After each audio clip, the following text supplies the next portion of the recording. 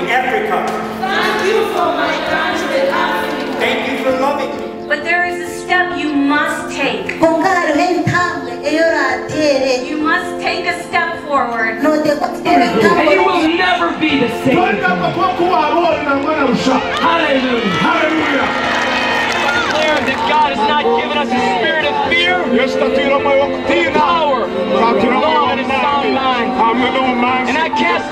spirit of fear in Jesus' name. moyo wo- wo kutina cyenda mu izina rya yesu i would not move at all. I would not walk. Koka kunaba kunaba ndiyawo nagenda kandi natambura nayo inyuma God because he has done a great miracle for me in Jesus name